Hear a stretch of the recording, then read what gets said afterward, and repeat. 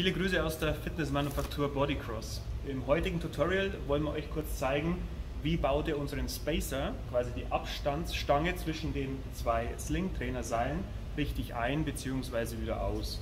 Grundsätzlich im eingebauten Zustand dient er dazu, die zwei Seile auseinanderzuhalten, um eine weitere Achse im Training einzubauen. Ja, der gewünschte Wackeleffekt.